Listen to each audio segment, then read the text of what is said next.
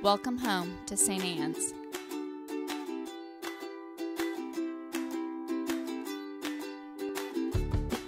We want you to know that you're welcome to join us at 10 a.m. on Sundays. Please be sure to hit subscribe to receive our sermons. We can't wait to meet you.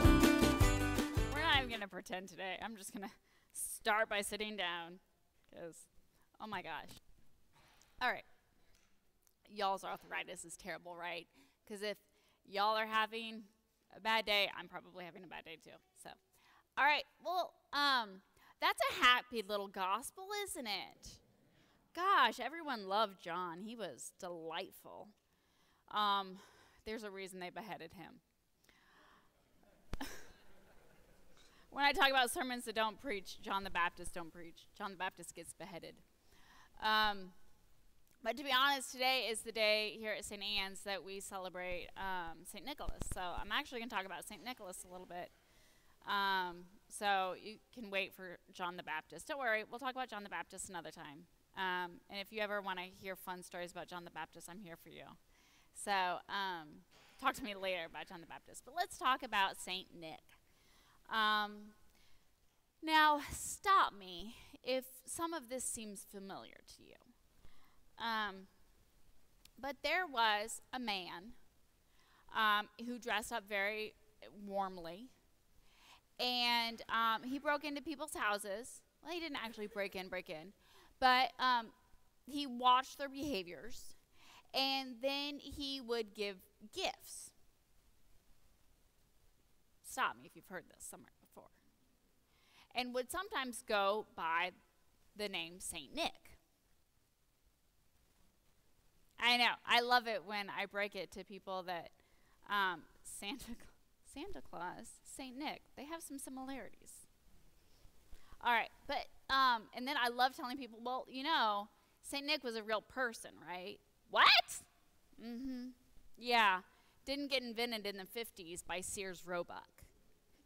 We've had him for a while. You guys know that I love to point out that things that people think are fairly recent, we invented like couple thousand years ago. We've, we've been doing this a while.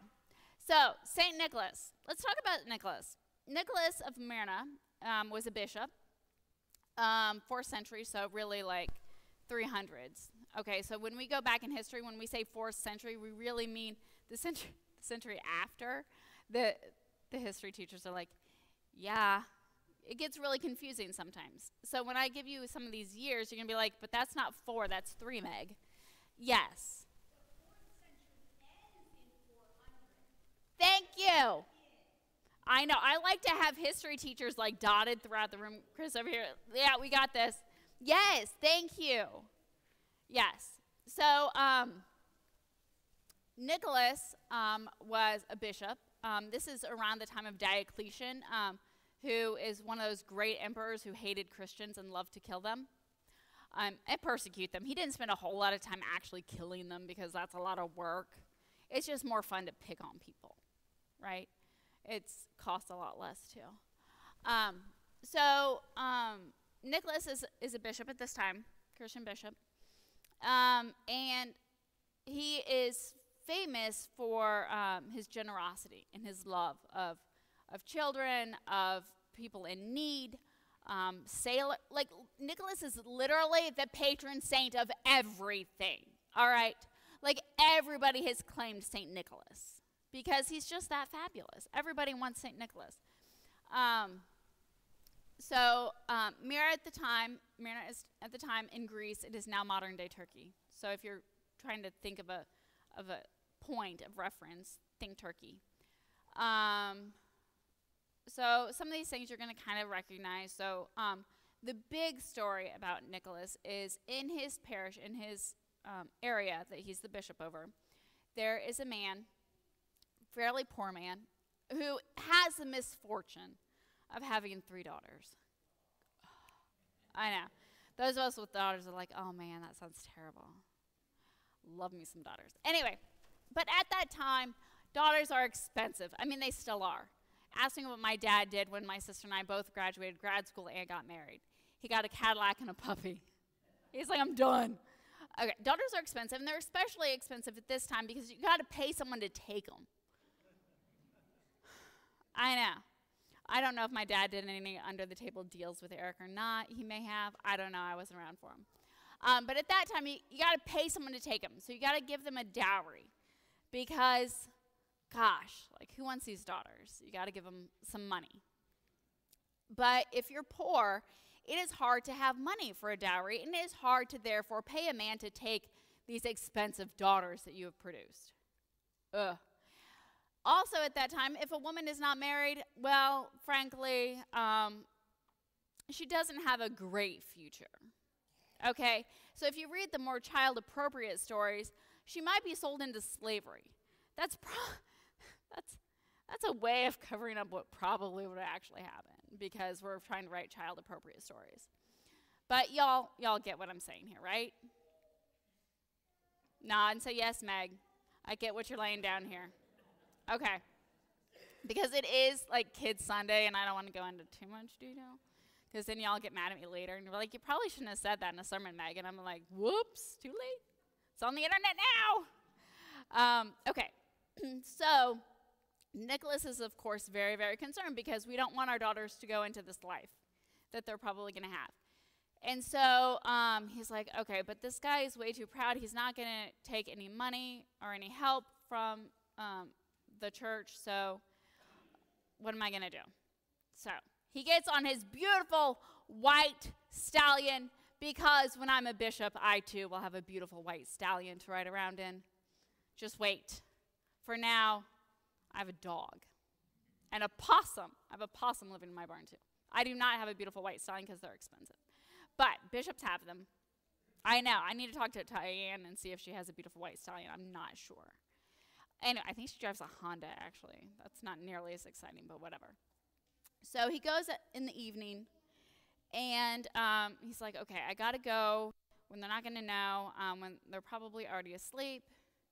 But conveniently, for Nicholas. This is so convenient. Okay.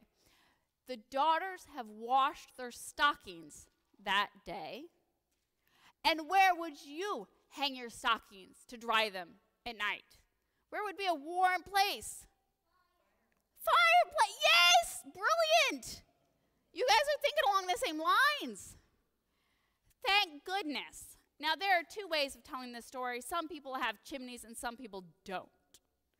So, this is the answer when your children come to you and say, How is Santa Claus going to get in if we don't have a chimney? We're all worried about those people, right? Who don't have a chimney. It's okay. Nick got this figured out. There are two ways that this happens. One, the daughters have their stockings hung up by the fire with care in hopes that they'll dry in the warm evening air. I'm here for you. Okay, so he rides by on his horse. Some stories, the windows are open, and that's convenient. Some stories, there are no open windows, so he's got to use a chimney. It's fine. We got it covered either way. He rides by on his horse. He throws three gold balls, and he probably should play for our Royals because the man has got the aim of our quarterback, Mahomes. He's got, nails it, nails it. I know, we need him in the Royals too. Our Chiefs got it, our Royals not so much. Okay, it's fine. He rides by, he throws the gold ball in, bam, bam, bam, in the stockings, thus saving these daughters from an unfortunate reality. Thanks, Nicholas. That's one good story. You may have heard some of those points of interest somewhere before. I don't know. Um, also, he is known for um, saving children from other um, unfortunate um, events. He also is known for calming the seas. He's um, um, the patron saint of sailors and, and boats and things like that. Why does all of this matter? I mean, A, they're fun stories and they tell well. But I think the real reason that we are so enamored by Nicholas is because you have this person who comes from wealth and prestige and all these things because he does. That's what his parents, his parents are very, very wealthy um, before, before they die. Um, so, what is it about this that even now, even in our completely secular world, we are sucked in by this story? We are sucked in by the story of somebody who goes to extraordinary lengths and efforts to give joy with absolutely no expectation of anything in return. What is it about that that just hooks us? Because frankly, that is what hooks us, right? The whole the whole Christmas secular world that is like totally done with baby Jesus because ew, barns, gross. I'm here to tell you. But there's something about this generosity piece that hooks us, no matter who you are. What is it about that? Because that's what really sucks us in, right? And that's where you and I can plug in on this story.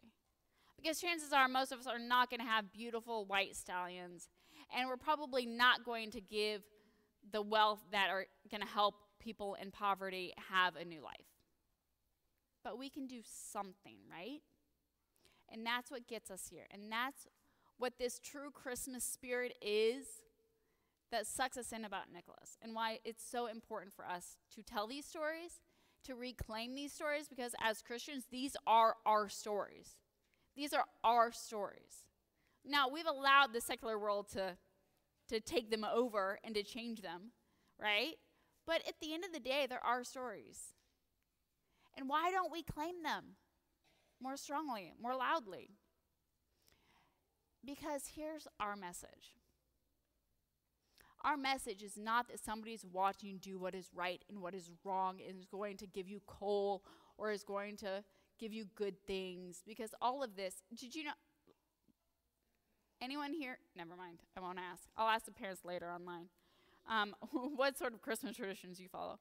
But a lot of them are about um, control, right? Like if we do these things, our kids will behave in this way. If we do these things, then people will behave in this way. It's all about punishment, right? Punishment and reward. It's all about control. But the thing is, the Christian message never was. Nicholas was never about punishment and control.